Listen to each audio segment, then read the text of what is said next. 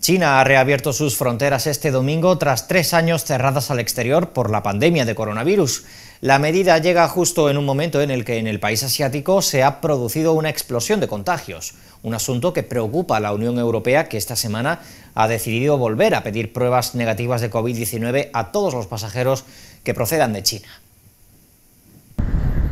Los 27 pedirán a todos los pasajeros que salgan de China hacia los Estados miembros de la Unión Europea una prueba negativa de COVID-19 realizada no más de 48 horas antes de la salida del país. Realizarán test de aguas residuales en aviones y aeropuertos y también pruebas aleatorias a la llegada a la Unión Europea ante la flexibilización de las restricciones de viaje por parte del gobierno chino a partir del 8 de enero. Así lo señala la declaración institucional de la presidencia sueca del Consejo tras la reunión de este miércoles de los Estados miembros en presencia de los países asociados a Schengen en el marco de la respuesta política integrada a la crisis para debatir la situación epidemiológica en China y la respuesta coordinada de la Unión Europea ante el estallido de contagios de COVID-19. También se recomendará el uso de mascarillas en vuelos con origen o destino en China y se acordado asesorar a los viajeros internacionales entrantes y